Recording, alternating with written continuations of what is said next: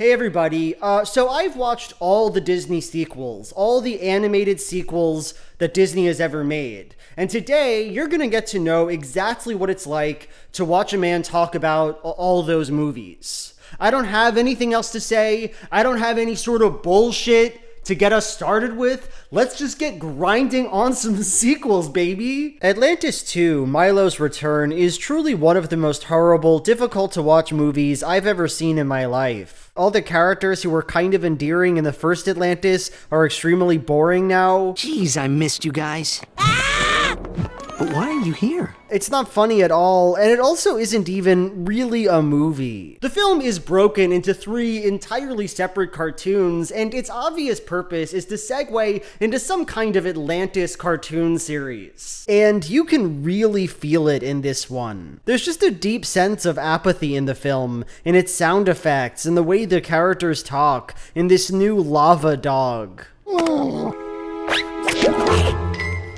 A question I have to ask myself as I enter this project is how exactly am I supposed to judge a movie that exists only to be trash for five year olds? Does it really make sense to tear into a film that, in a very real way, is not a film? And the only answer I can come to, the only answer that makes sense for this video, is yes. I will be judging all of these movies according to the standards of a 27 year old adult man, and that's how it's gotta be. Atlantis 2 is a filthy movie. I hate this endless joke where Milo explains to Kida what glass does. It's for protection. I know what the spear is for, but why is it in a glass case? Now, the glass case is for protection. Wouldn't the spear be better protection than a glass case? Yes. No.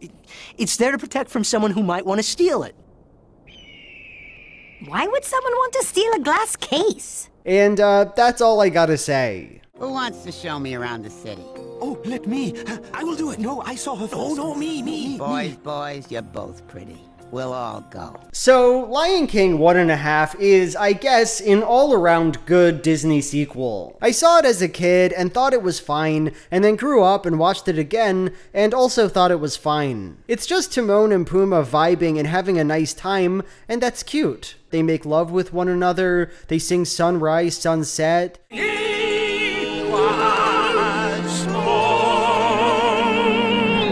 Marge is in the movie. All you have to do is watch for hyenas and yell if you see one. It's really cool. One thing I quite enjoy in the film is this scene where Pumbaa gets into a little tiny bed. Anthropomorphic characters circling their beds like normal animals is, to me, one of the cutest things that's even around right now, and I enjoy it each and every time I see it. Other than that, I don't got much to say. It's a pretty dope movie though, and I think Timon stands will have quite a time with this one. Ariel's Beginning is a sequel to The Little Mermaid, and it's honestly pretty average. Classic 3 out of 10 film, Ariel's Beginning. I will say this though, the film suffers from one of the absolute worst problems that a prequel can, in that it essentially just reproduces the conflict of the original film. Triton, the king of the sea, used to be happy and love music until his wife died. Athena!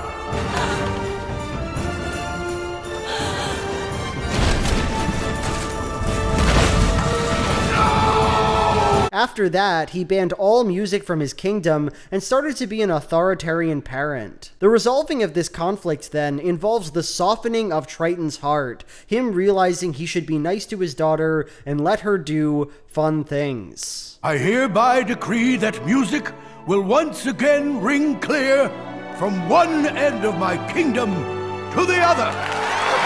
You can see the problem here, right? Triton is going to realize his error, start being a good father to Ariel, and then a few years will pass, Ariel will develop an affinity for land, and he'll just be an asshole to her all over again. It just makes the film proper feel sad, like Triton will never truly overcome his demons, that he will wrestle with his desire to control his daughters until the day he dies. Another problem I have with this plot is that I tire of prequels that feel their only role is to provide psychological justifications for mean characters. At the beginning of the film, Triton's wife was killed by a ship, and this is obviously meant to suggest that he's now like bigoted against land or something. I hate that. I don't think that's good. Triton is motivated enough in the original film. He doesn't want to give his daughter freedom. He doesn't want to see her leave him. We don't need a tragic boat thing that actually informed the whole movie. It doesn't add anything.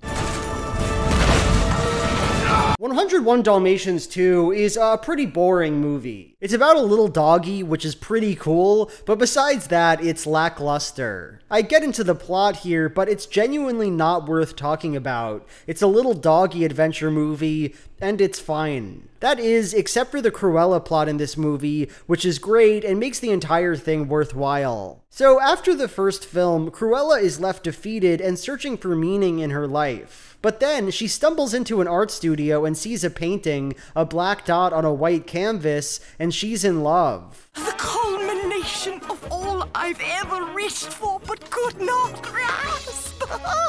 She meets the cute artist and becomes his patron and greatest admirer. It makes me smile a lot. But then she just hates all of his work. Like he paints black dot after black dot after black dot, and she rejects all of them, feeling they don't evoke a Dalmatian enough. So already, I love this. This painting she saw at the beginning of the film changed her life, brought her such joy, but then she rejects the very thing she loved destroys the entire reason she's here. The drive to represent Dalmatians consumes Cruella, yet the object of her desire, art that truly represents the world, is always out of reach. I like that, that's great. But then it gets better. Right toward the end of the film, Cruella de Vil says this line oh well, if I can't have a masterpiece, at least I'll finally have a fabulous Dalmatian coat. That's almost as good. Don't you agree? And how crazy is that? The entire purpose of this artistic project was to evoke a Dalmatian, give Cruella the ability to experience the joy of these animals without having them. But at the end, the roles are reversed. Cruella needs abstraction, needs these polka dotted canvases, and failing that, she will settle for the thing itself, for a Dalmatian. W- uh, wonderful. Thank you. Also, Jason Alexander plays an evil corgi in this movie, and I really enjoy watching him scheme and hatch devious plans. You're no hero! You're a fraud! Bambi 2 is interesting among all these Disney sequels because it's the only true follow up to a golden age Disney film. I mean, yeah, there's Fantasia 2000, but it only kind of counts. And watching this film, I couldn't help but find it uh, kind of pitiful. Good morning. Awful in a way that none of these other Disney sequels are. Bambi, the 1942 Bambi, is an extraordinary movie. I think one of my favorites. And it's great both because of what it has and what it doesn't have. Bambi doesn't have an overarching plot, it's mostly just a series of largely disconnected scenes. And it doesn't really have characters either. While Bambi is in the movie, there's nothing particularly notable about him. He stopped and looked at me. Yes, I know. He doesn't want anything, he doesn't have opinions, he doesn't have relationships that change. He is largely an anchor through which we experience the world. And that's what the movie's about nature, its beauty and terror and death and fecundity. Bambi 2 is Lion King. It's about Bambi getting to know his estranged prince father after his mother dies. And it just feels at every moment like it's trying to copy the relationship between Mufasa and Simba. Listen and smell all at the same time. There's a scene that feels like I just can't wait to be king. There's a scene that feels like Mufasa confronting Simba after he goes to the elephant graveyard. What if I hadn't gotten there in time? You could have been.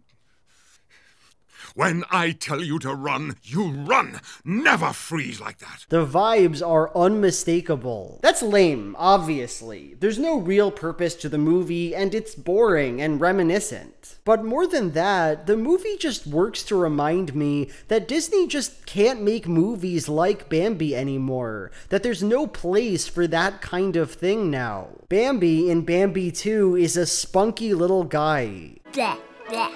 His father is stern, but we grow to love him. But Bambi, a prince does not woo who. Syrupy music floods the film, telling us exactly how to feel at every moment. It all has to be literal and narrative and direct.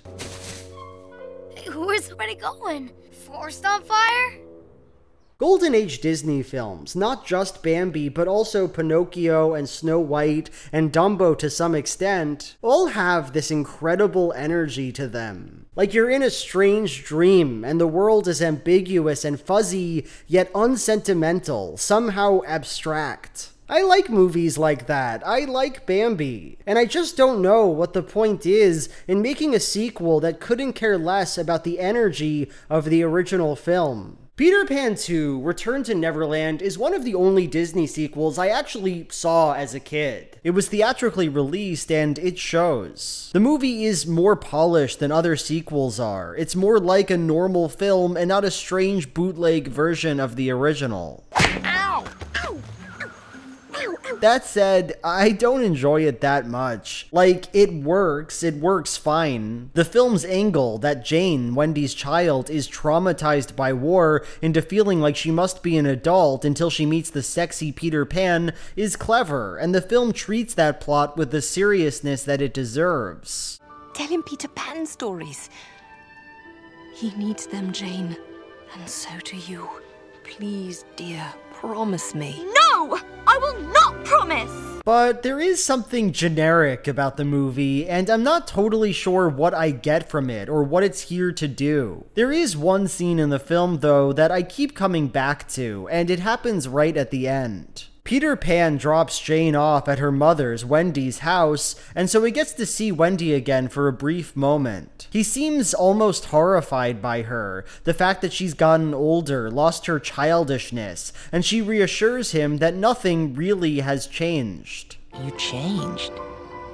Not really. How sad is that? What a weirdly resonant moment. Like, Wendy has changed. She's an adult now, a mother and a wife. She lives during a world war and is about to send her children away from London to avoid the bombs dropping on her city. She's an adult, and that was the choice she made. Peter Pan is the one who chose to live in a fantasy, who turns away from meaningful and at times very dark reality.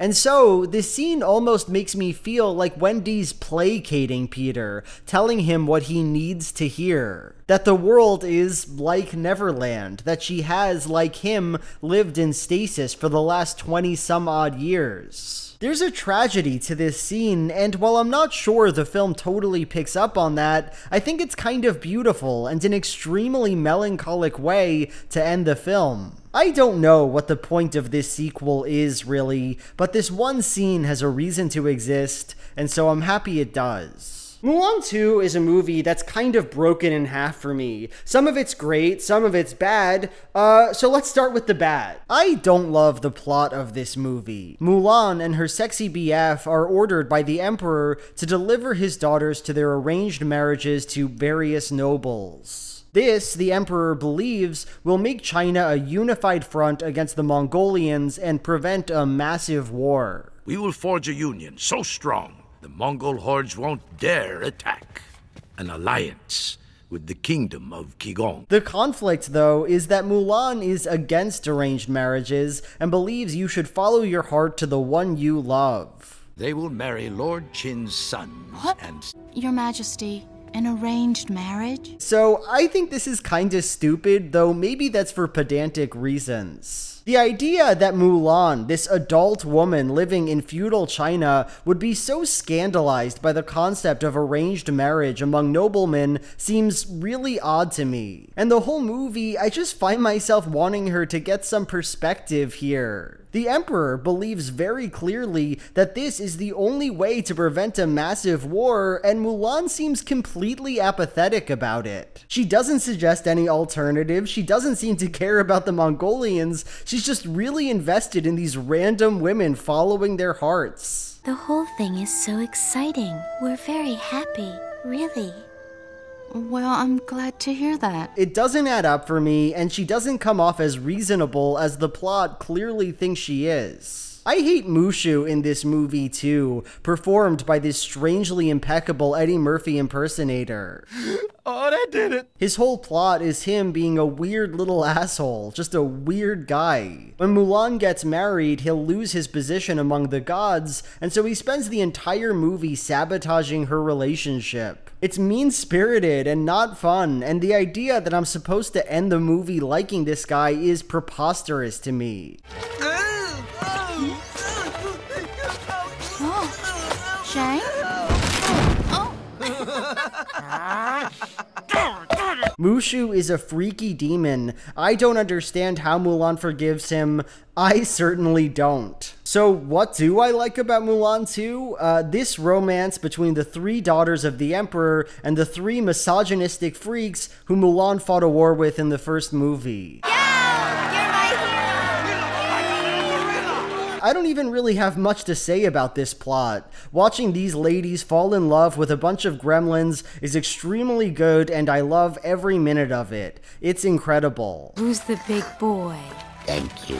I also feel I should say that Mulan 2 gave rise to one of the greatest nostalgia critic moments that's ever been created, where Doug Walker furiously says this. This movie is called Mulan 2 The Final War. Where's the final war? Where's the final war? Very good, Doug.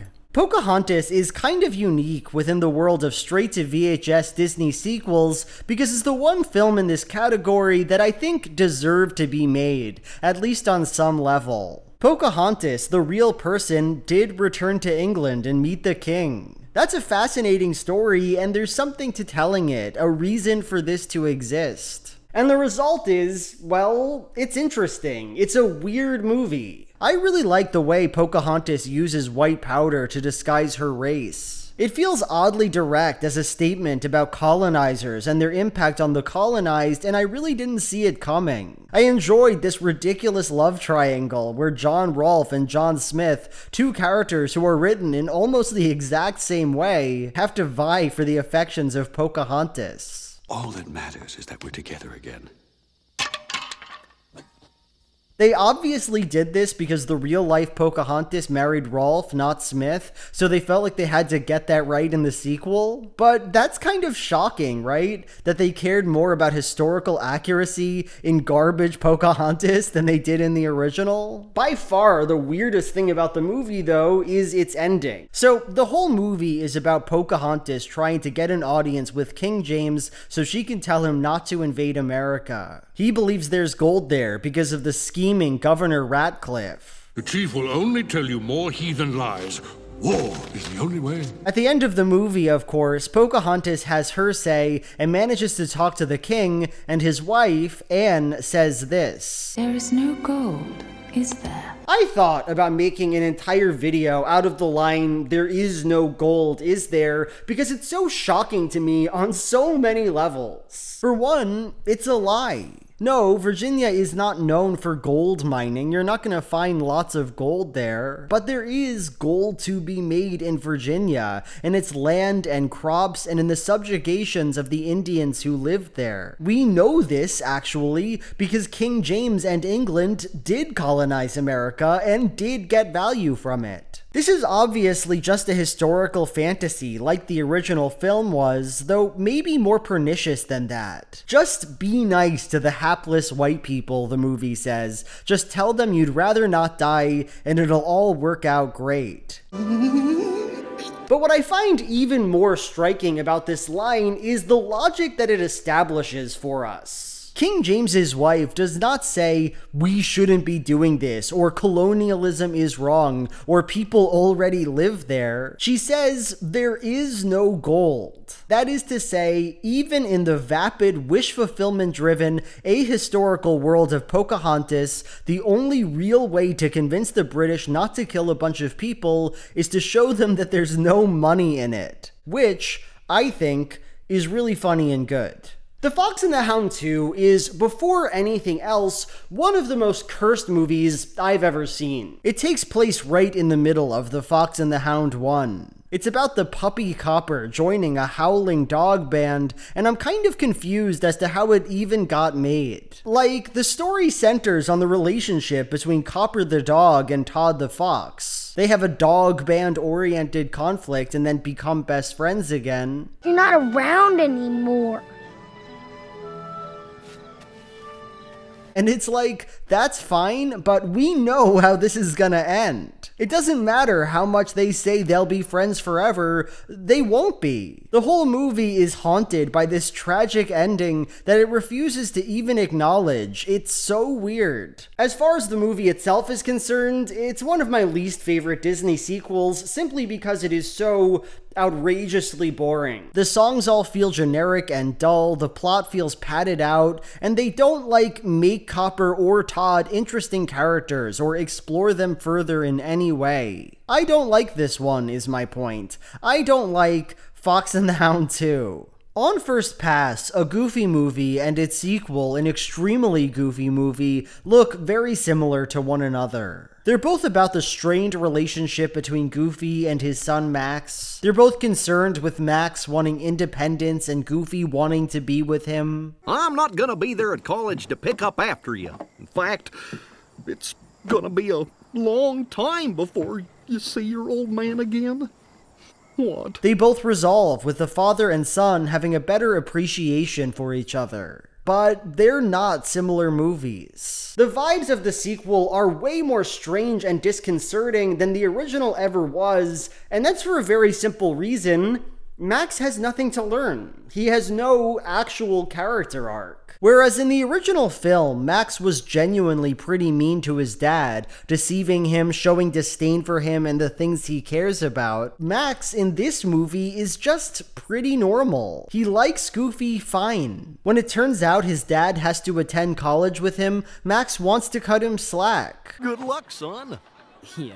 You too did. And when he sees his father enjoying disco, he thinks it's fun. So it's not that Max disrespects Goofy. It's not that he doesn't show that he cares for him. No, he just wants to be alone sometimes, to be allowed to study and talk to people and play sports and enjoy being at college for the first time. Don't you get it? I'm trying to get away from you. I'm not a little kid anymore. Now just leave me alone and get your own life. And despite the fact that this is an extremely normal request, Goofy won't respect it. He follows Max constantly, tries to do everything Max does, and doesn't seem to care that he obviously hates it. What do you say, boys?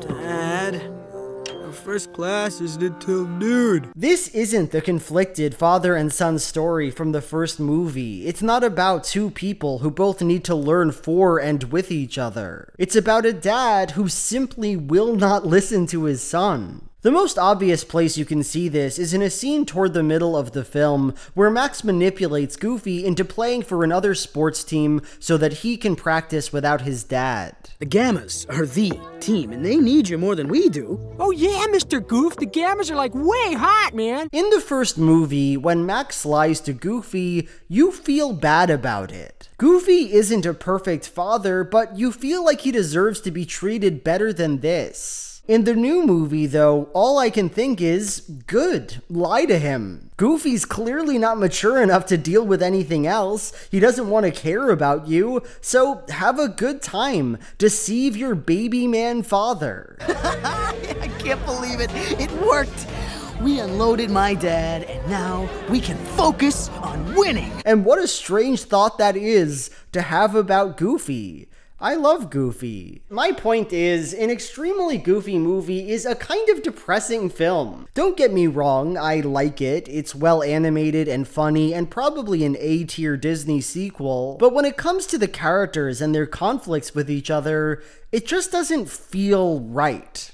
There's not a lot to say about Tarzan and Jane. There's really just one scene I quite enjoyed where Tarzan and some evil diamond miners come upon some beautiful diamonds. Look how happy those boys are. They're really all on the same page in this moment, just enjoying diamonds together. I'm a big fan of this scene in Tarzan and Jane. You know, a lot of criticisms are made of the original Beauty and the Beast. That it's abuse apologia, that Belle has Stockholm syndrome, etc. And whatever you want to think about that criticism, and to be clear, I think it's kind of a shallow one, the actual movie doesn't feel bad. The Beast doesn't feel like an irredeemable abuser, and Belle doesn't seem stupid for loving him. You must go to him.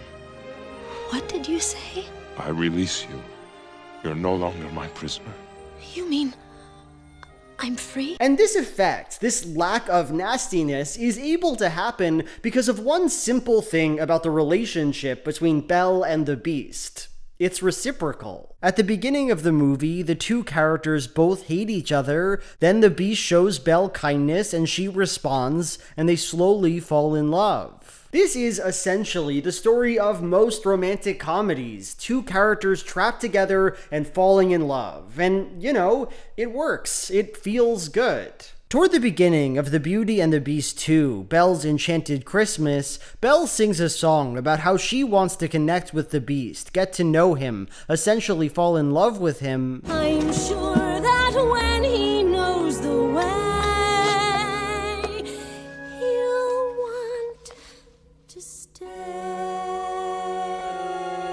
And that sounds like it makes sense, but the scene doesn't work. Because here's the thing for basically the entire movie, the Beast acts like an enormous prick. He insults Belle, doesn't respect her desire to have a nice Christmas, There will be no Christmas. But throws her in a dungeon because she disobeys him. And because of this, the film is more amenable to criticisms of Beauty and the Beast than the original film ever was. Because this, the way Belle acts in this song and at other points in the movie, it doesn't feel like love, it feels pitiful. It's not reciprocal, it's one sided and tragic and genuinely kind of hard to watch. What are you hiding? The experience of watching Beauty and the Beast 2 is a complicated one, though. Because on one hand, you have the main plot of the film, this tedious, sad, dull thing. And on the other, you have the villain of the movie, Goth Tim Curry CGI Piano. They can't fall in love if they're dead. He's so goth, this man. He loves his goth music so much that he wants to keep the beast sad so that he'll enjoy gloomy organ vibes. The music helps. Music is the only thing that helps me forget. And so, for the entire movie, you just sit there thinking to yourself, when's the goth CGI piano gonna come back? I wanna watch the goth CGI Tim Curry piano again. Humanity is entirely overrated. Before the enchantment, there was no need for my particular brand of genius. It's a movie with 15 minutes of absolute perfection, and the rest of it just exists to haunt you. Also, Bernadette Peters in this movie. That's cool. As long as there's Christmas, I truly So, there's a few things we could say about The Little Mermaid 2, a movie about Ariel's daughter wanting to enjoy the sea. We could talk about Ursula's crazy sister, a character who apparently always existed, scheming in the background. Ursula's crazy sister! In fact, the only reason you didn't see Ursula's crazy sister in the original film was that she was too busy helping Ursula, making Ursula's dreams a reality. We could talk about the way Ursula's crazy sister dies, one of the most traumatic death scenes I've ever seen in a Disney movie. She's just frozen now at the bottom of the sea, I guess. That's just where she's gonna be now. But really, the only thing that matters about The Little Mermaid 2 is Flounder, who is, regretfully, an adult now. You're sure not a guppy anymore.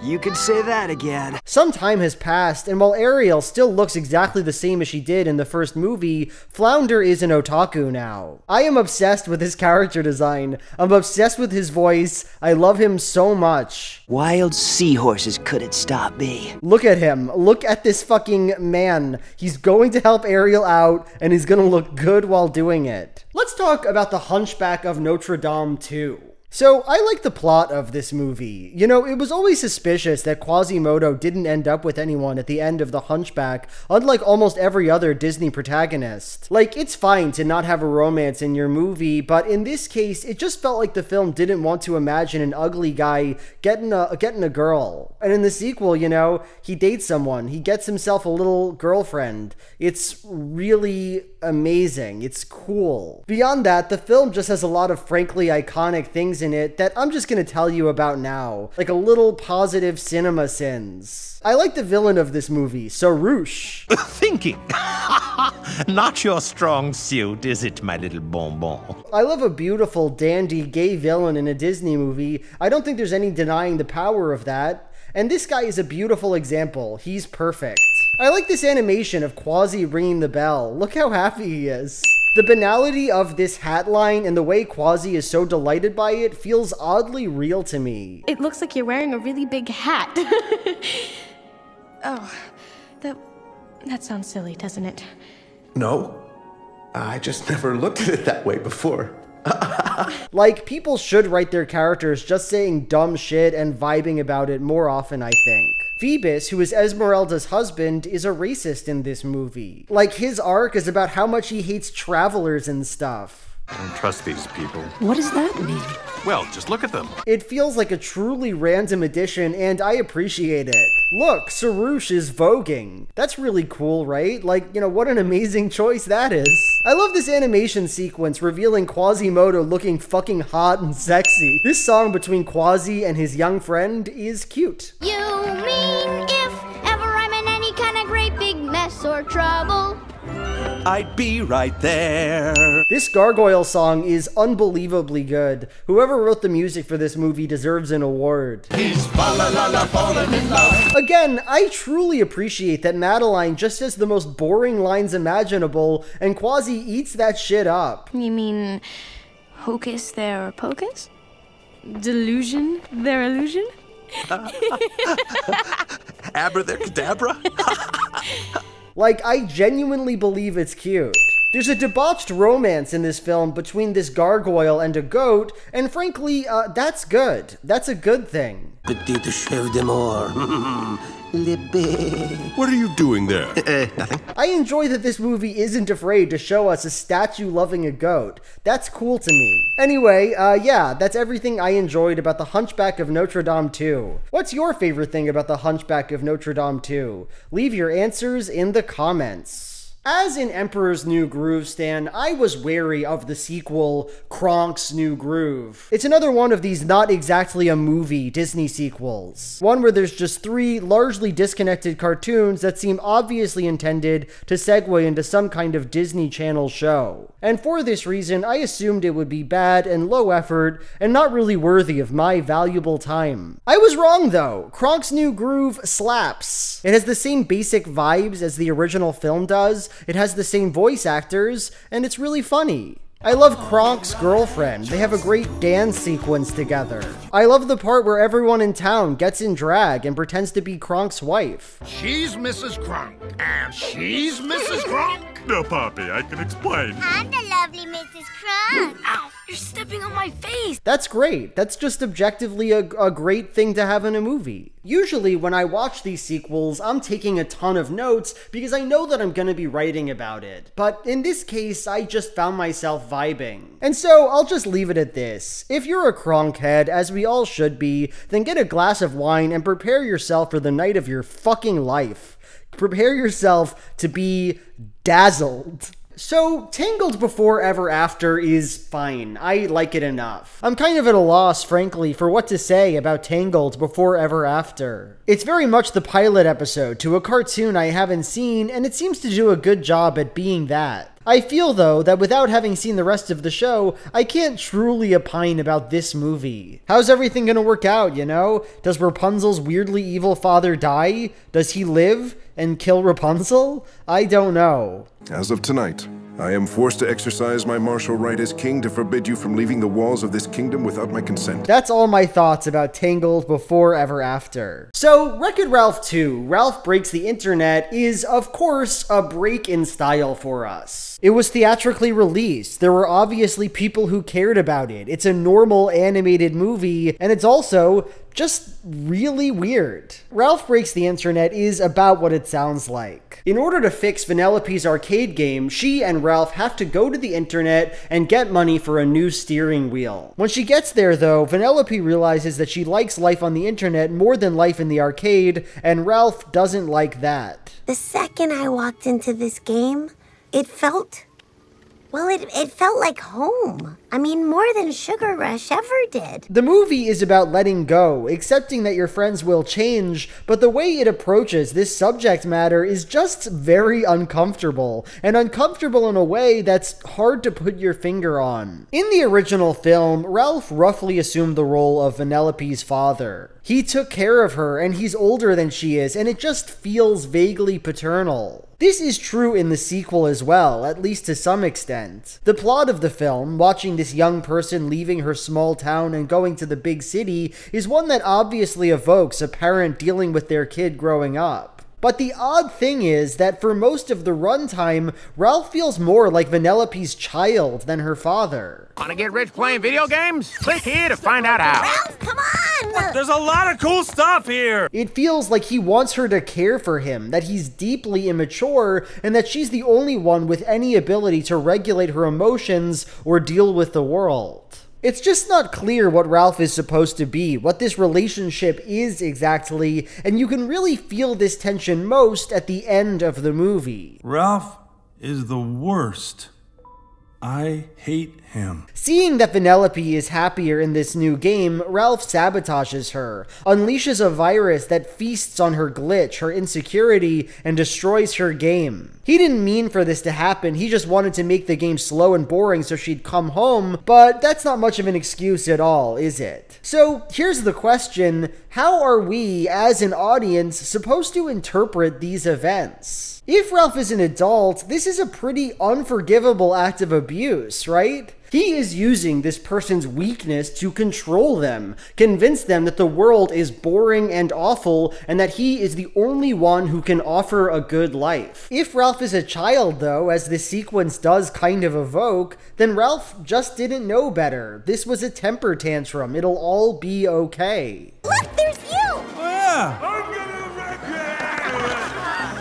It's really hard to figure out how we're supposed to look at Ralph. I gotta admit, you know, part of me kind of likes this. This feeling of instability or confusion in the central relationship of the film. It's complicated and unique, and it's nice to see weird things in Disney movies. But at the same time, I do hate it. Watching this guy, who was the kindly protagonist of the first film, just become this horrific child parent hybrid monster is not really what I want out of a Wreck It Ralph sequel. I just feel like the movie's doing too much here somehow. Okay, getting a little clingy on me here.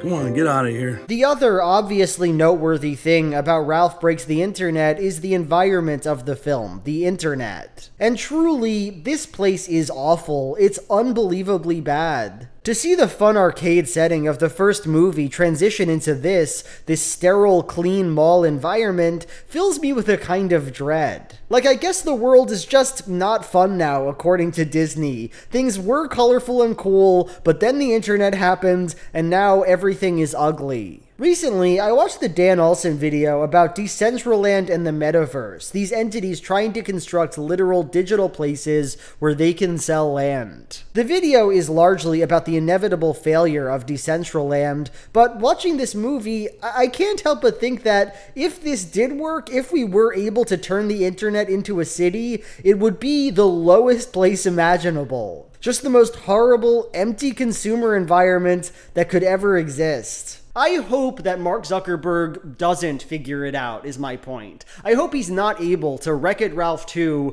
Ralph Breaks the Internet, the entire world. Toward the end of Jungle Book 2, a girl, Mowgli's little friend, talks to Baloo, the bear, and the question on all our minds is what is even going on anymore? You! You! You stay away from me! Hey, I'm, I'm really here not 'cause in the mood, okay? I spent a night in the jungle. I- I always thought Mowgli had some special ability to talk to animals. Just everyone can do it? Everyone can talk to bears? Why do the people in the movie act like bears are so different and scary when they're just very simply uh, little guys you can talk to? The movie's about how Mowgli, now living with humans, has a family who doesn't want him going into the jungle. The jungle is a dangerous place. And by the end, when you see this scene, all you can think is, you know, a conversation would have solved this problem. You'd think Mowgli would tell his adoptive father, Can you just talk to the bear, please? Can you just communicate with the bear for five seconds? You can talk to bears in this movie. Cinderella 2 is another one of these three cartoons blended together kinds of sequels. I've honestly grown to really resent these movies because it feels like, as a reviewer, I'm supposed to go over all the separate cartoons, and I refuse to do that. I'm not going to be talking about the second cartoon where a mouse turns into an ugly man. I'm not interested in that. What am I doing?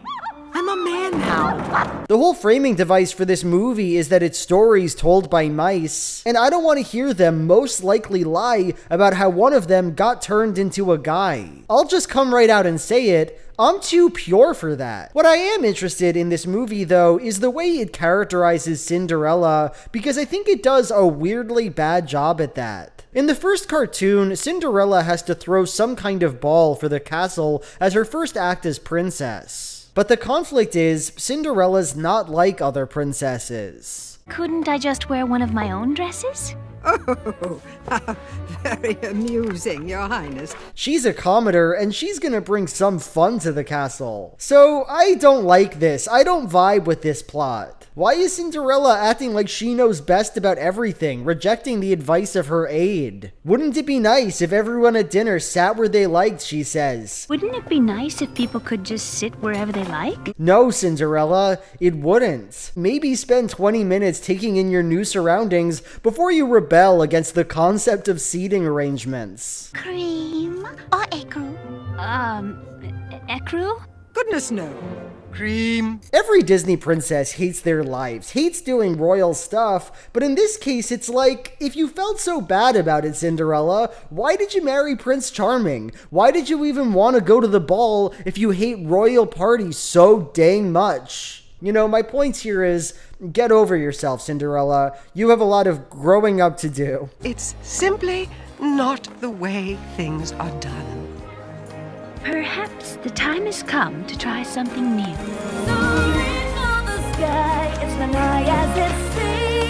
Another thing of note about this movie is a moment from the third cartoon. This one's about one of Cinderella's stepsisters trying to get a man, and it's, I guess, the best of the three. But the funniest scene happens right at the start of the story, and I'll just play it. I saw you in the baker's shop. Oh, he must think I'm. Oh, He saw it was an accident. Don't give up so fast. What would you know? You're beautiful.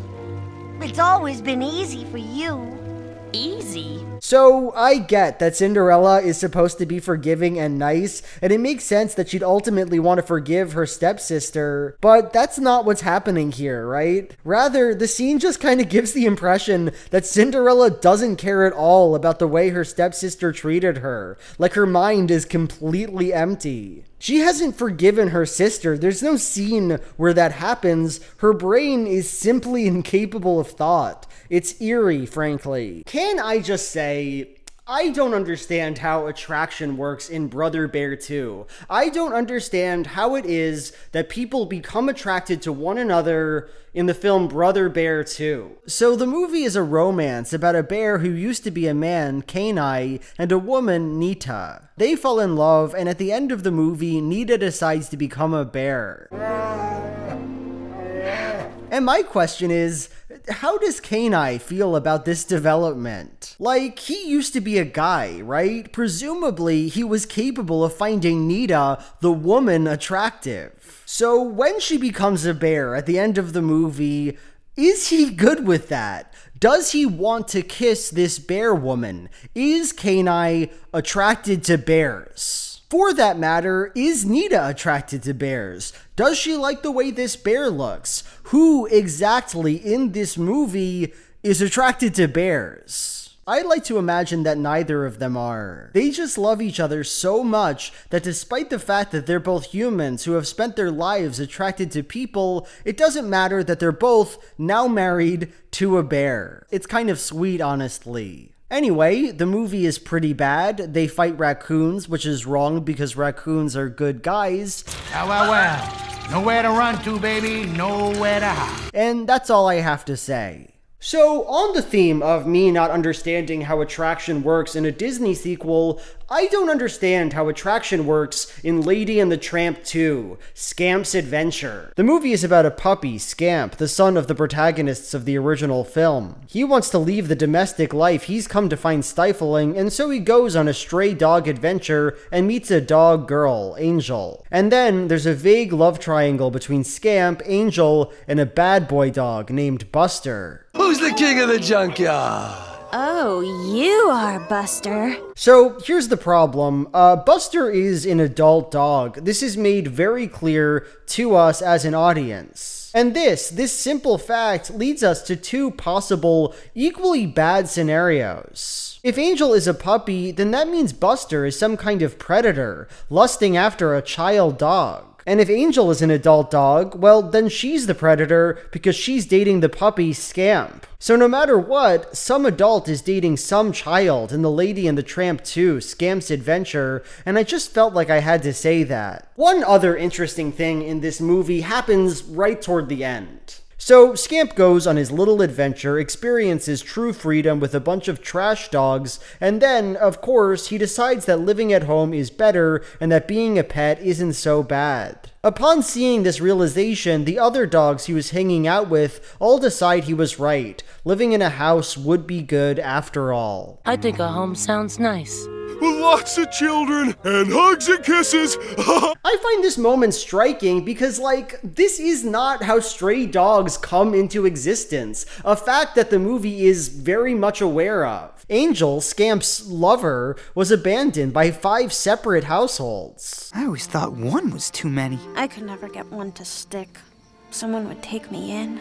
Just when I'd start to think, wow, this is my family, they'd move or have a new baby or have an allergy. Living in the dump wasn't a choice for her, and it wasn't a choice for any of these other dogs. And so, when they decide they'd like to have owners, it's kind of melancholy. Like, cool decision, now what? You're still a stray, nobody's opening their houses to you, you're alone in this world, regardless of what you choose to believe. One last thing, uh, Lady and the Tramp 2 has one of my favorite animation glitches ever, and I just want to play it now. Do mine eyes deceive me? Hey, Scamp!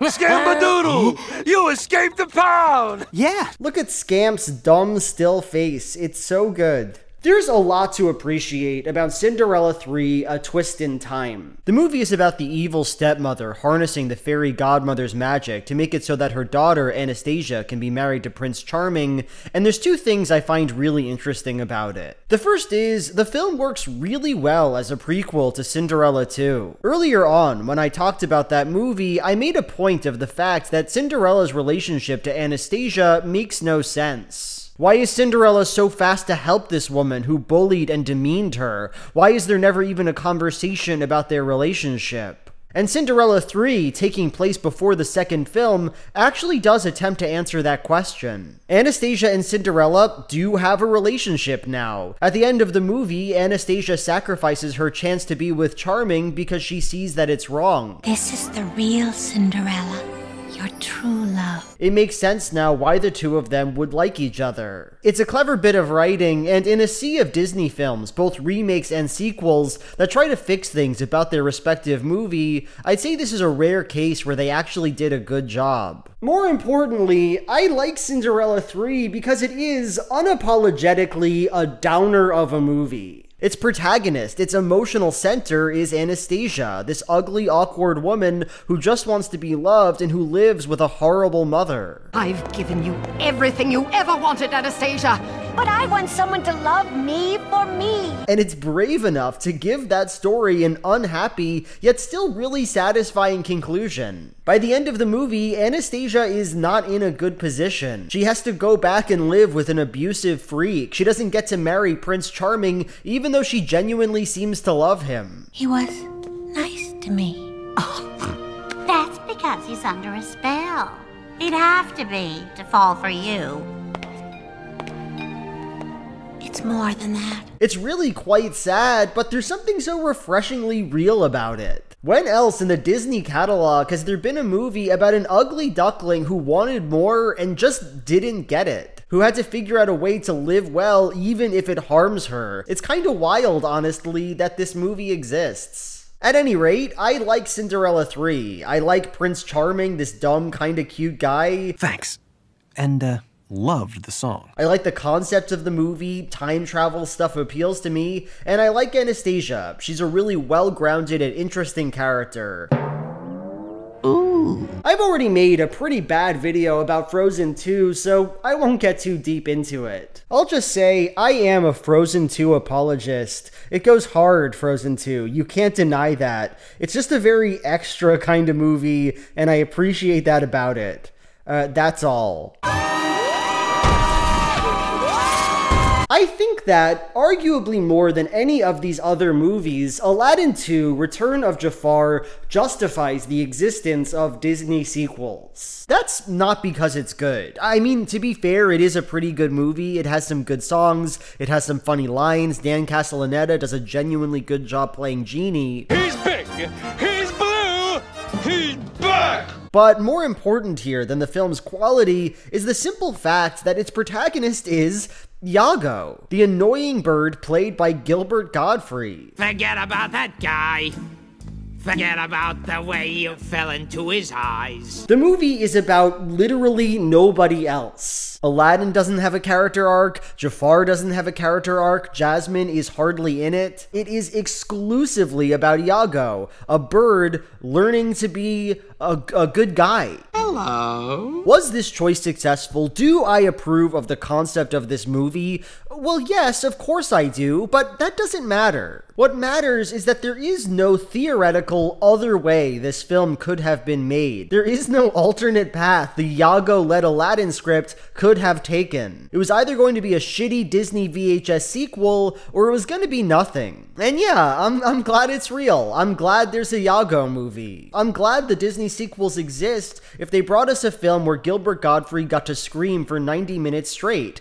That's important to the world somehow. What more do you want? Two notes about Aladdin, King of Thieves. Uh, number one, Aladdin Daddy Sexy, look at him go, hot boy coming through. Number two, I like it when he, a thief and a bandit, says he never hurts the innocent. We never hurt the innocent. I just don't believe him. I think he kills people. I do not believe him. He destroyed his son's wedding after all. Was his son not innocent? I do not believe this man. Fantasia 2000 is, without a doubt, the Disney sequel that is most difficult for me to talk about. It is the one that takes itself the most seriously, and it's the only one that I've seen multiple times just for fun. I've tried approaching this section a number of different ways at this point, but in the end, I think our best way to approach it is to simply go through each of the film's sections. Fantasia 2000 begins with Beethoven's Fifth. The short aims for a kind of abstraction, a nod to the way the original film begins. There's a stiffness, though, to the animation here, to the way effects are placed over static watercolor paintings. For what is supposed to be abstract, the sequence is also notably literal and on the nose. These simplistic bird creatures don't feel evocative, they feel like birds. And the story being told doesn't feel ambiguous or intriguing, it feels like some generic good versus evil thing. There are images in this cartoon that I find beautiful, but all things considered, it kind of feels like a screensaver, and I don't like it very much. The second sequence, The Pines of Rome, a short about a bunch of whales who fly, is one of the most interesting sequences in the film, and that's largely because of its animation. Don't get me wrong, it doesn't look perfect. The CGI bodies of these whales simply do not lend themselves very naturally to expressing dynamic music, and the result is what feels like a short film with an interesting soundtrack, and not a short film about the music, trying to express the music. Still, I enjoy these whales. I love the way their early CGI models look, and I love that the animators manually painted their eyes to make them more expressive. The film is obviously aiming for a prestigious and serious tone, and while these goofy ass eyes don't convey that tone, I kind of like them for that reason. All in all, I think the Pines of Rome sequence is cool, it's interesting, it's different. Quickly after this point, though, the movie takes a turn. The third short uses the composition Rhapsody in Blue. It's based on the artwork of Al Hirschfeld. And to be clear, I think it's probably the best sequence in the entire film. It's cute and fun, the animation is good, it works for what it's trying to accomplish. So I enjoy this cartoon, but I find the way I enjoy it kind of interesting. Put simply, I like it because it tells a fun story. I'm invested in this guy who wants to play drums, and in this girl who wants her parents, and in this hedonistic freak.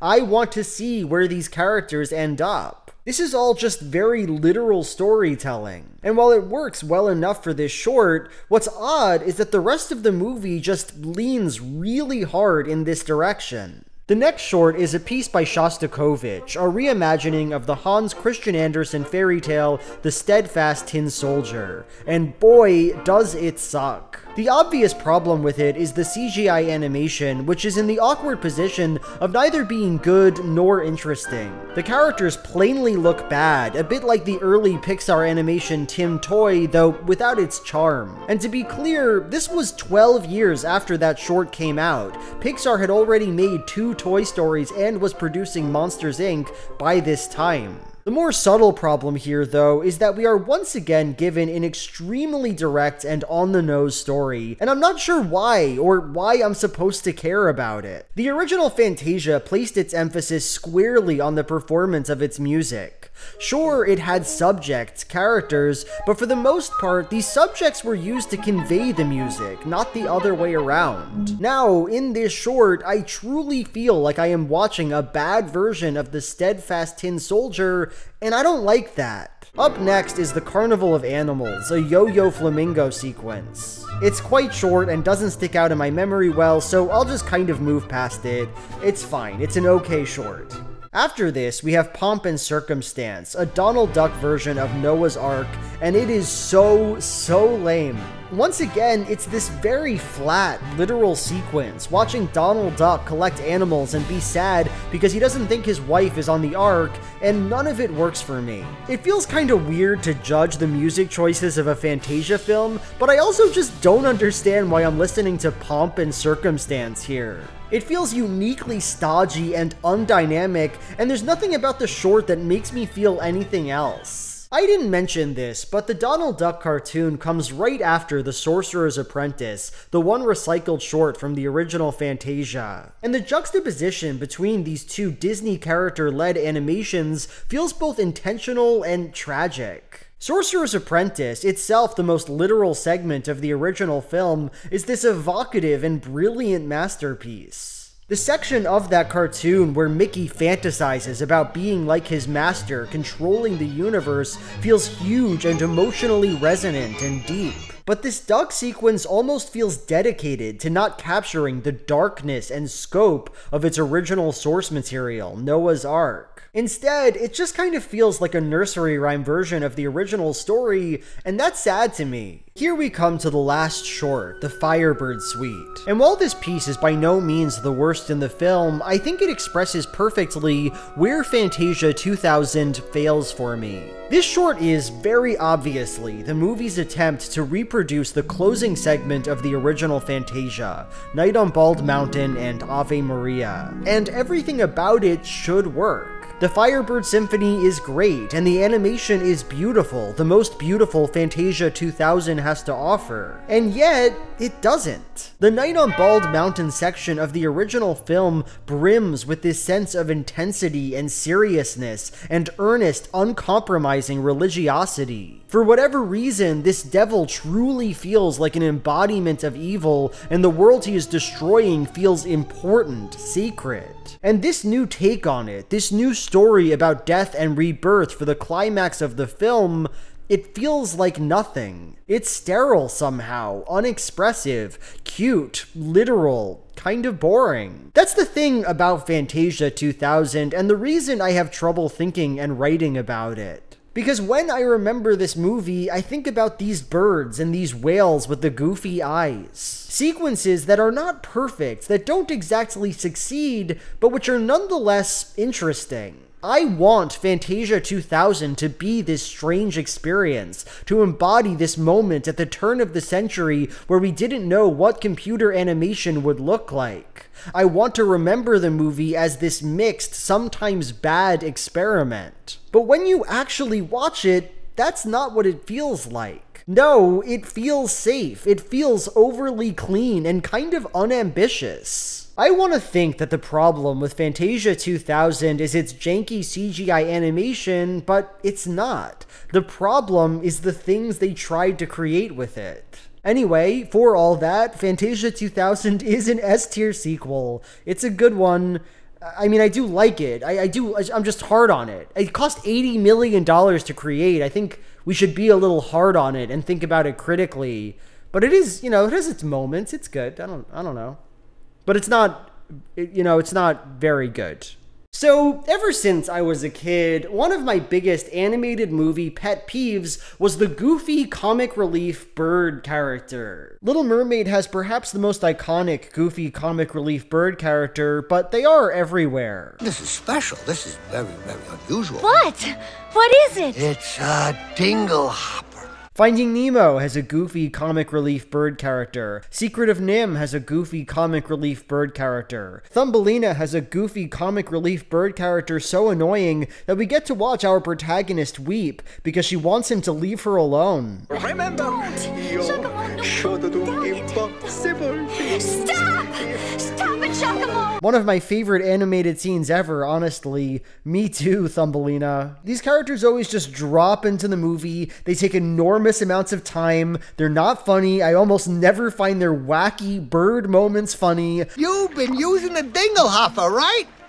I don't like them, is my point. They don't appeal to me. Anyway, uh, Rescuers Down Under is a pretty good movie. I like parts of it. I like the first five minutes of it quite a lot.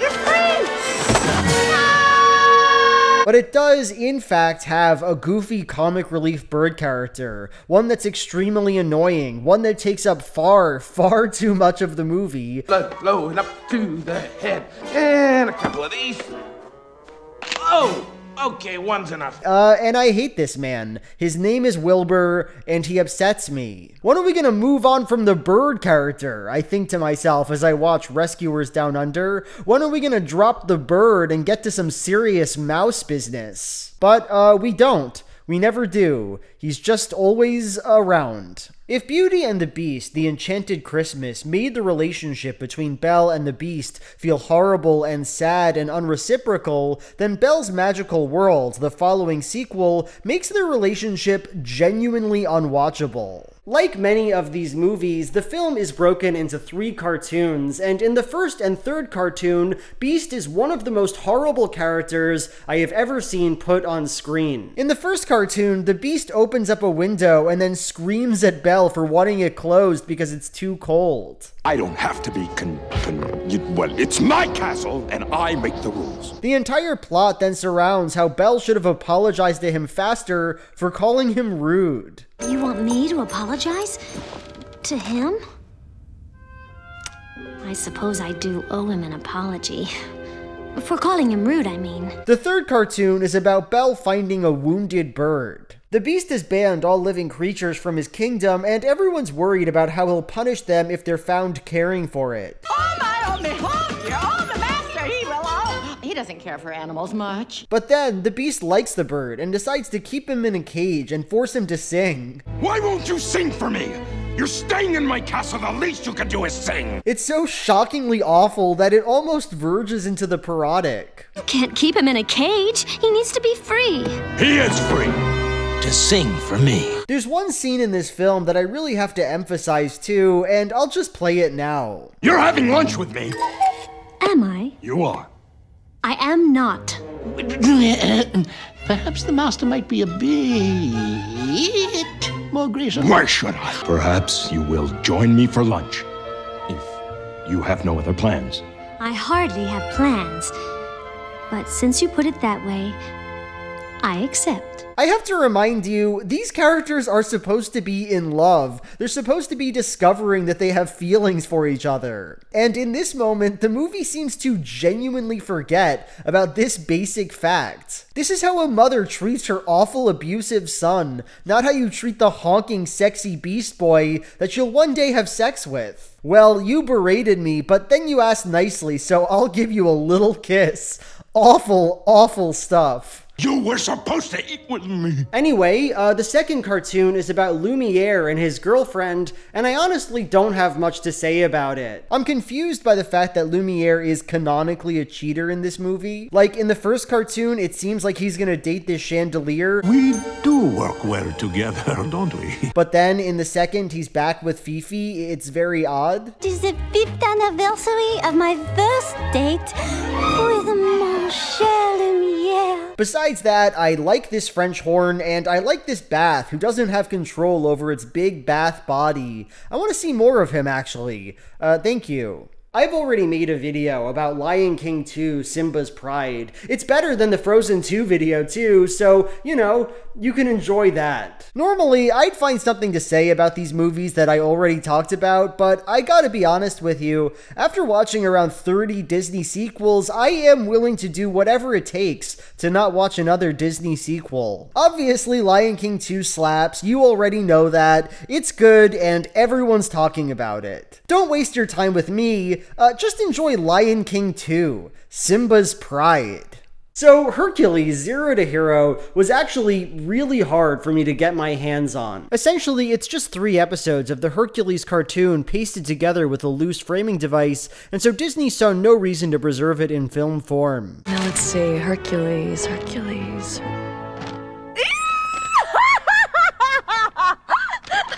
The movie still exists on VHS, that's the only way to watch it, but I don't have a VHS player or a way to convert VHS to digital, so what I did was buy a copy of Hercules Zero to Hero and send it to my friend Dan Olson. It's true.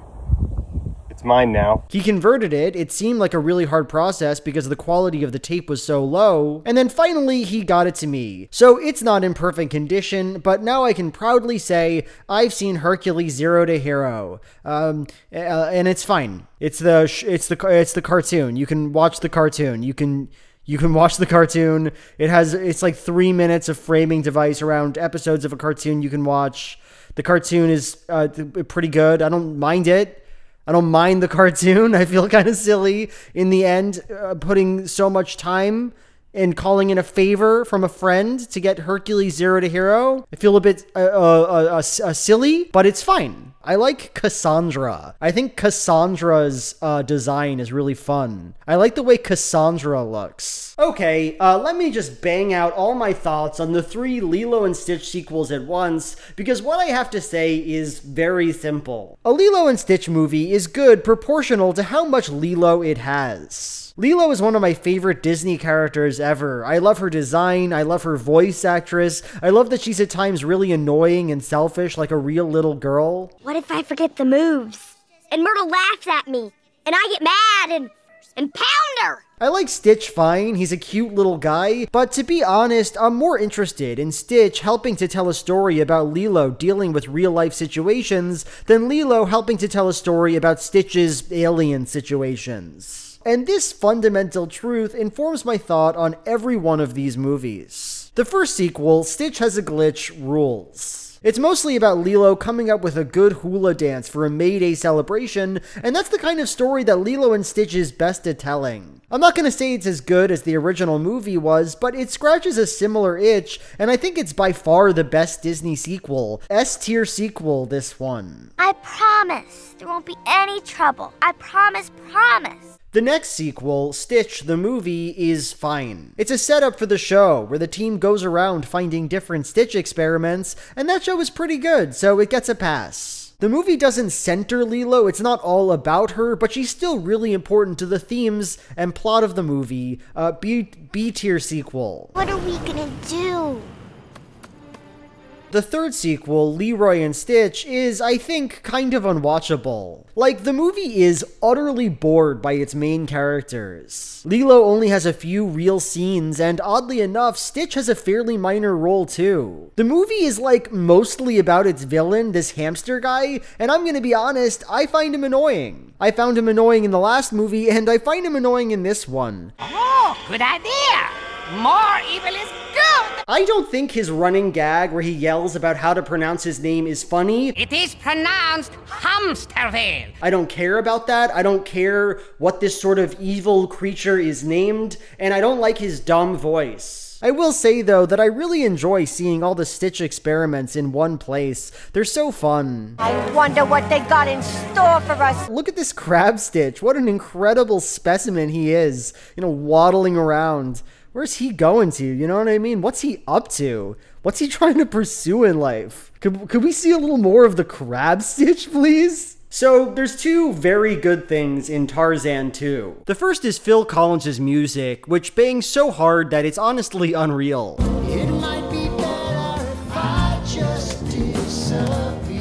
The movie is about child Tarzan not feeling like he belongs in his jungle society, and the songs lend this plot a kind of goth gravitas that truly cannot be overstated. Why do I hurt the ones I love with everything I do? Why do I hurt the ones I love? With everything I do. He fucking gets it, man. He's he's living it. He's living it. Phil Collins was obviously going through something when he wrote this, uh, and that's beautiful to me. The other thing I like about the movie is this one scene where Tarzan makes his elderly friend a nest. I made you a nest. You made this? For me? Sure, for your old bones. Like your mom used to make. Try it out. Thank you, Tarzan. Ever since my mommy died, I've simply been sleeping in my own shit and fecal matter, so this really means the world to me. I never thought to sleep in a bed before you came along. I don't know, man. I think it's a good scene. So that's all the Disney sequels right there. At least all the Disney sequels I watched. I feel like I must be missing one or two, but I, I don't know, man. I don't know. Anyway, I know what you're thinking. Sure, that video was long, but even after watching it, I can't help but crave more content. There's something deeply wrong with me. What's wrong with me? Am I broken? Well, I have this to say. Uh, don't even worry about all that stuff. If you want to watch more content, head on over to My Nebula. Every month I make a bonus video there, so at this point I have a million, and this month I talk about posts on the subreddit Am I the Asshole that I thought were interesting. I'm not the only one who makes content for Nebula. Jacob Geller has content there. Philosophy Tube has her play there. Lindsay Ellis exclusively makes videos for Nebula, and there's one about Guy Fieri that rocks. Nebula costs $30 for the whole year, which I think is a decent price, and people seem to enjoy their subscriptions. At any rate, Nebula's cool. It's a great way to support my channel, so if you're interested, sign up now at the link in the description. So that's the end of the video. I hope you liked it. It was a long one. It was really, really fun for me to make. If you did like it, feel free to like, comment, and subscribe. Uh, and if you really liked it, give me money on Patreon. That's the other way to access my bonus videos. Anyway, now it's time for my Patreon question of the video. Noah asks, do you speak any other languages or want to learn another language? Uh, no, I don't speak any other languages, but I'm trying to learn French. Je voudrais apprendre le français. Euh, J'apprends le français avec Duo. Euh, je prends un cours de français. Euh, je, suis, je suis très bien à le français. Le français est très difficile, mais je suis un homme très intelligent et J'apprends le français. J'apprends le français.